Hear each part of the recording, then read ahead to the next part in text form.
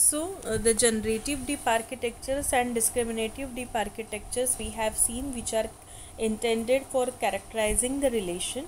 Now, the uh, we can say uh, despite the complex categorization of deep learning architecture, the ones that are in practice or widely used are deep feed forwarded networks, convolution networks, and recurrent networks. So, deep feed forwarded networks, the goal of this network is to approximate the function. That is the main part of deep feed forward network. Next one is the convolution networks. The goal of CNN is to learn high ordered features in the data via convolutions. They are well suited for object recognition with images and consistently top image classification competitions. Convolution neural network is basically highly famous because they gives us a very good output by using minimum features. Though and that's why they are basically used in the object recognition. The next one is the recurrent networks which allows both parallel and sequential computation. And in principle can compute anything traditional computer can compute. That is recurrent network which is basically uh, uses the parallel and sequential computation all these three types we will see in detail. But before that as we are talking about deep feed forward network and all so feed forward network then the input layer output layer all these things are connected to neural network. So we will see first neural network. So neural network consists of an interconnected group of nodes which are called as the neurons. So as we are talking about neural network it is nothing but a group of nodes and that nodes are called as neurons. So the input feature variable from the data are passed to these neurons as multi-layer linear combination where the values multiplied by which which variable are known as weights. So we are talking about neural network and there are number of neurons in the particular neural network. So Generally, these neurons are having the values which are multiplied by each variable and that values are nothing but the weights of that particular neuron. A neural network can have multiple layers where the output of one layer is passed to the next one in same way. So, neural network generally have input layer, output layer and hidden layer. It is the combination of various layers where the output of first layer is passed to the second layer.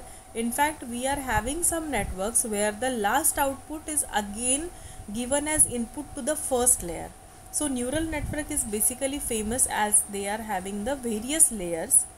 Neural networks are trained using stochastic uh, gradient descent which is called as sgd and the backpropagation algorithm.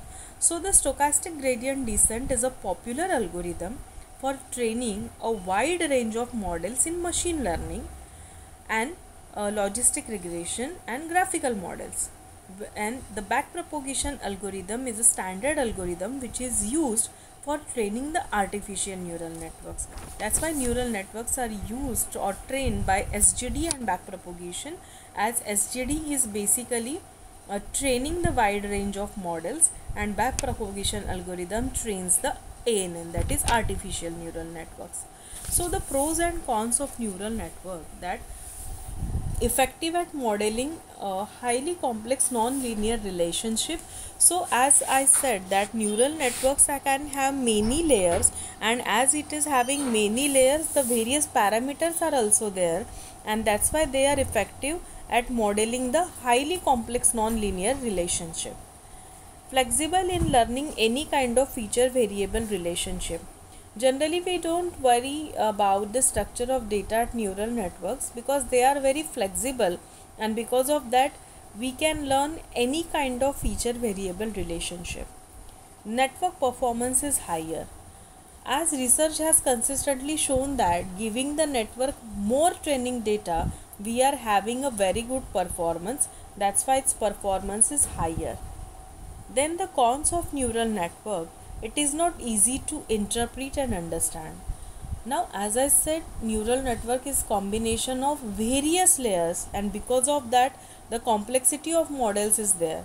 and that's why they are not easy to interpret and understand intensive to train and tune actually they are quite challenging intensive to train and requires careful hyperparameter tuning and setting of the learning rate schedule because they contains large amount of neurons. Requires lot of data to achieve high performance.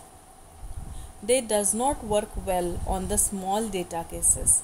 As i said it is part of deep learning and deep learning works well only when you are having a largest data set.